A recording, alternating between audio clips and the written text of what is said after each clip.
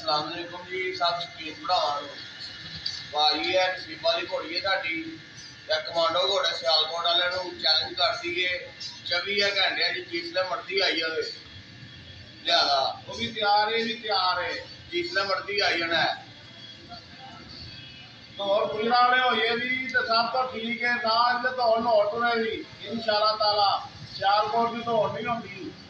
ਉਹ ਜਿੱਥੇ ਕਹਿੰਦੇ ਚਲੇ ਚਲਾਂਗੇ ਅਦਰ ਮਕਾਨ ਸ਼ੇਹੂਪੁਰਾ ਕੱਢ ਅਦਰ।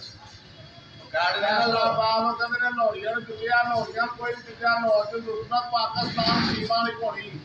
ਆ ਕਮਾਂਡੋ ਘੋੜੇ ਨੂੰ ਚੈਲੰਜ ਕਰਦੀ ਹੈ ਜਿਸਲੇ ਮਰਜ਼ੀ ਆ ਜਾਵੇ। ਠੀਕ ਹੈ ਕਰਾਉਣਾ ਤਾਂ ਲਾ ਕੇ ਡਾਲੇ ਤੱਕ ਤੁਰੇ ਨਹੀਂ। ਨਾ ਅਸੀਂ ਕੋਈ ਵਜ਼ਨ ਚੁੱਕਣਾ ਤੇ ਨਾ ਵਜ਼ਨ ਚੁੱਕਣ ਦੀ ਕੋਈ ਗੱਲ ਕਰਨ। ਇਹਨਾਂ ਨੇ ਬਣਾਇਆ ਨਾ ਕੀ ਹੁਣ ਅਸੀਂ ਲਿਆਦਾ, ਸਾਰੇ ਭਾਰ ਘੋੜੀ ਘੋੜਦੇ ਆ 50 60 ਕਿਲੋ ਵਜਨ ਦੀ ਚੁੱਕਲਾਂ ਦੇ, ਕੋਈ ਐਸੀ ਗੱਲ ਨਹੀਂ ਹੈ ਜੀ।